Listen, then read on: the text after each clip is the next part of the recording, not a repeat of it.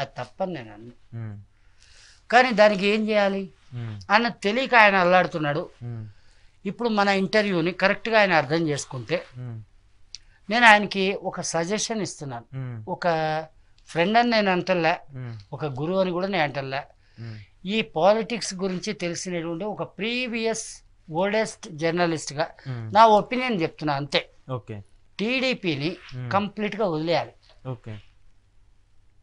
అదేవిధంగా లోకేష్కి సంబంధించినటువంటి ప్రస్తావన కూడా టీడీపీలో పనికిరాదు. ఓకే. మంచన్నా సరే చెడన్నా సరే కంచన్నా సరే మంచన్నా సరే. It is better to hand over the all the rights to NBK Nandamuri Balakrishna. Okay. అలా ఇచ్చినట్లయితే ఎన్టీ రామారావుకు వారసుడుగా నట వారసుడు అంటారు. ఇప్పుడు పొలిటికల్ వారసుడుగా కూడా కొంత ఉమ్, అగ్రెసివ్గా ముందుకు పోయేదానికి అవకాశం ఉంది. టీడీపీ మళ్ళీ పునరుజ్జీవనం పొందడానికి అవకాశం ఉంది. ఇప్పుడు టీడీపీ నాకు తెలిసినంతలో నాకు గుర్తున్నంత వరకు. ఓకే. సుమారు ఇరవై ఒక్క సీట్లో ఇరవై రెండు సీట్లో కదా ఏమో ఉండింది?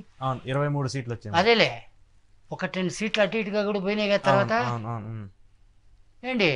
అంత హీనాతి హీనమైనటువంటి స్థితి నుంచి కనీసం ఒక పాతిక స్పీ పాతిక సీట్లు అంటే ఇంకో రెండు సీట్లు పెంచుకోవచ్చేమో. లేదు ఇంకొక ముప్పైకి పెరిగాడు అంటే ఇంకొక ఏడు సీట్లు పెంచుకోవచ్చేమో. ఎనిమిది సీట్లు పెంచుకోవచ్చేమో. ఈ స్థాయికైనా వస్తుంది. కనీసంగా నందమూరి బాలకృష్ణకి అప్పచెప్పినట్లయితే ఓకే. లేదు నేను ఇంతేనంటే హెరిటేజ్ ఎలా మూతపడిందో టీడీపీ అలాగే మూతపడుతుంది. నాకు తోసింది నేను చెప్పినానండి. Whether they are taking in positive mind um, it is good. Hmm. In case negative it is good. Um. వాళ్ళకి సంబంధించిన తలనొప్పి నాకు సంబంధించిన తలనొప్పి కాదు అది. కరెక్టే పాయింట్ కానీ జూనియర్ ఎన్టీఆర్ వస్తే మళ్ళీ దాని ప్రభావం రాడండి. ప్రభావం ఉండదంటారు? రాడు కాక రాడు. Hmm. ముసలోడైనా రాడు.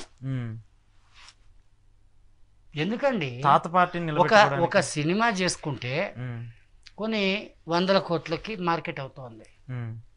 అందులో ఆయనకు వచ్చే షేర్ ఎంత రావాలో వస్తుంది.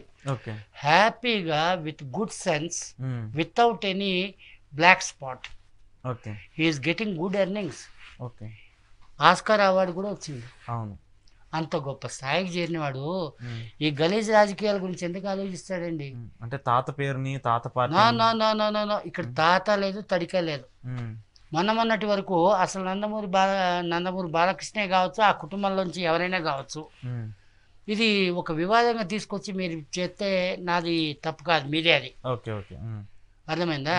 నా తలకు తప్పు కాదు. Okay okay. ఉమ్, మరి ఆ రోజుల్లో జూనియర్ ఎన్టీఆర్కి గొప్ప వాల్యూ ఎందుకు ఇవ్వలేదు? ఈరోజు ఆస్కార్ కొట్టాడు కాబట్టి రారా మా ముద్దుల తండ్రి అని అంటున్నారు. మరి ఓడిపోయినట్టుగా ఆయన కూడా ఎన్నో ఫ్లాప్లు ఉన్నాయి ఆ రోజుల్లో. అవును. మరి ఆ రోజు ఎందుకు దగ్గర చేర్చుకోలేదు? ఇవన్నీ కూడా మనం చర్చించుకుంటూ పోతే ఓ డిబేటింగ్ లాగా పెట్టుకుంటే. ఒక వివాదానికి దారితీస్తుంది కానీ అంటే మనం ఏమి కరెక్ట్గా ఏమి చేయలేం. మీరు మీ వృత్తికి న్యాయం చేయలేరు నేను నా సీట్కి న్యాయం చేయలేను.